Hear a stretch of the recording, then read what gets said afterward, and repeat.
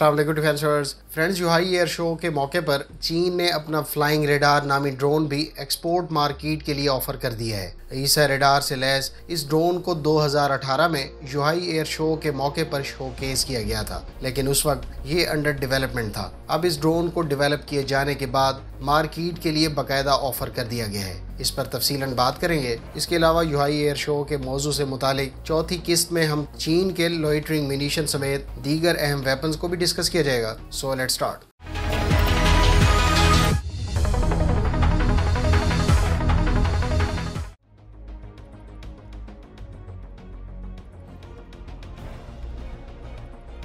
friends J Y three hundred drone दरअसल एक airborne early warning aircraft की तरह है, लेकिन इस पर एक्सटर्नल रेडोम की बजाय embedded active electronical scanner array radar को पेटेंट कन्फर्मल इंस्टॉलेशन के तौर पर इस्तेमाल किया गया है। यह ड्रोन एक मीडियम ऑल्टीट्यूड लेकिन लॉन्ग इंडेंस ड्रोन है। इसको एक लिहाज से low cost airborne early warning के लिए इस्तेमाल किया जा सकता है। चीन की रेडार्स बनाने वाली लीडिंग फर्म सीटीसी का तैयार करदा यह ड्रोन कन्फर्मल रेडार एंटेना से लैस है, जिसको लीडिंग एज विंग्स और फॉरवर्ड फ्यूजलाज के दोनों एतराफ इस्तेमाल किया गया है, ताकि 360 डिग्री एरिया कवरेज दे सके।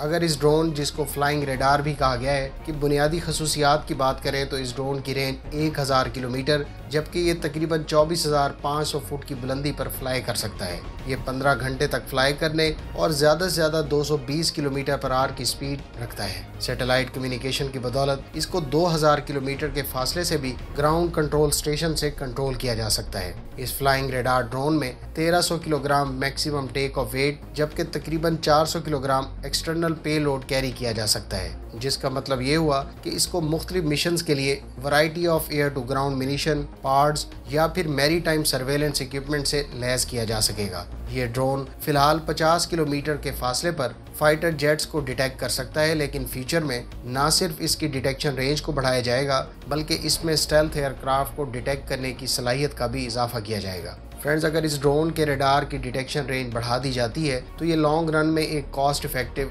airborne early warning और सर्वेलेंस सिस्टम बन सकता है, क्योंकि इसकी बाइंग और ऑपरेशनल कास्ट बहरहाल मौजूदा दौर के airborne early warning and control aircraft से बहुत कम होगी और ये एक कॉस्ट इफ़ेक्टिव और लॉन्ग रेंज सोल्यूशन बन सकता है। आपकी इस ड्रोन इसकी यूनिक सलाहियत और फ्यूचर पॉसिबिलिटी पर क्या राय है कमेंट बॉक्स में इसका इजहार ज़रूर करें।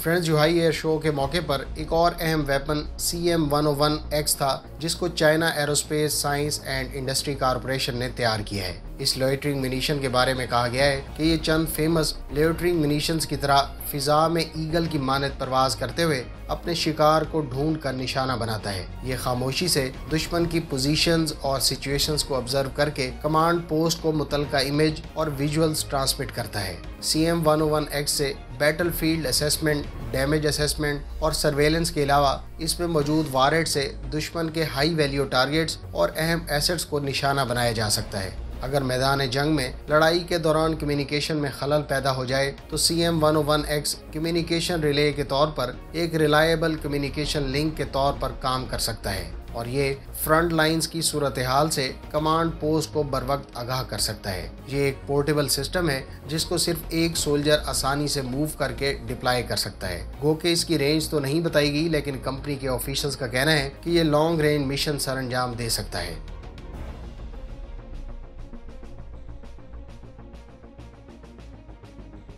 फ्रेंड्स जुहाई एयर शो के मौके पर एक और ख़ास weapon J S one missile है। ये एक general purpose anti armour missile है, जिसको बवक्त ज़रूरत आर्मर्ड व्हीकल्स हेलीकॉप्टर्स और slow moving small aerial threats के खिलाफ इस्तेमाल किया जाता है। ये भी light weight portable missile system है, जिसको एक सोल्जर कैरी कर सकता है। इसको बवक्त ज़रूरत दुश्मन की आर्मर्ड व्हीकल्स के साथ साथ लो फ्लाइंग हेलीकॉप्टर्स और यू के खिलाफ इस्तेमाल किया जा सकता है। ये एक शोल्डर फायर मिसाइल है, जबकि इसको मुख्तलिफ़ आर्मर्ड व्हीकल्स और एरियल प्लेटफॉर्म्स पर भी नस्ब करके दुश्मन के खिलाफ बवक्त ज़रूरत मुख्तलिफ़ मिशन में इस्तेमाल में लाया जा सकता है। इस सिस्टम की भी रेंज डिस्क्लोज नहीं की गई, लेकिन जुहाई एयर शो के मौके पर C M one one X और जे एस वन वन से मुतालिक एक वीडियो रिलीज़ की गई है, जिसमें इन दोनों सिस्टम्स की सलाहियत पोर्टेबिलिटी और मुख्तलिफ़ अदाफ को निशाना बनाने की सलाहियत दिखाई गई थी। J S one O one में strong anti jamming capability highly cost effective और गुड पोर्टेबिलिटी और फायर एंड फॉरगेट फीचर्स का दावा किया गया है।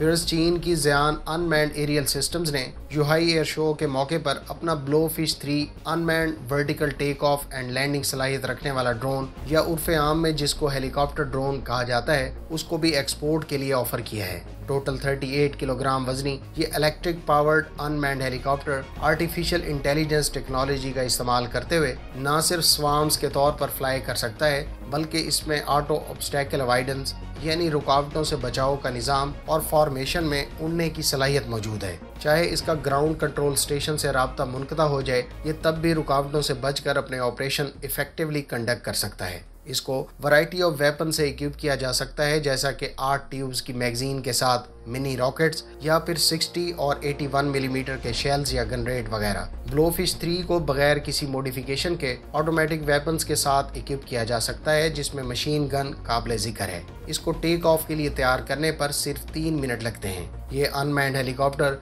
नब्बे मिनट की इंडोरेंस और 80 किलोमीटर की रेंज रखता है।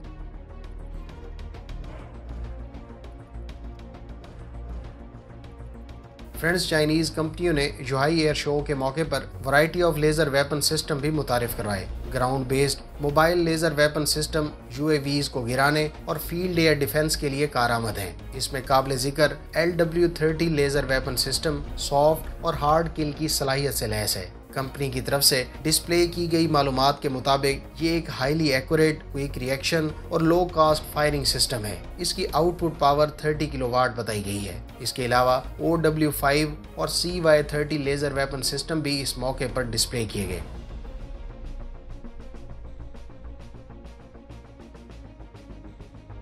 फ्रेंड्स, ये थी जुहाई एयर शो से मुतालिक चौथी किस्त। आपको इस एपिसोड में कौन सा वेपन और सिस्टम अच्छा लगा कमेंट बॉक्स में इसका इजहार ज़रूर करें। अगर आपने इस सीरीज़ की गुजशत किस्तें नहीं देखी तो इन तीनों वीडियोस का लिंक डिस्क्रिप्शन में मौजूद है। मिलते हैं नेक्स्ट वीडियो के साथ। अपनी दुआ में याद रखिएगा।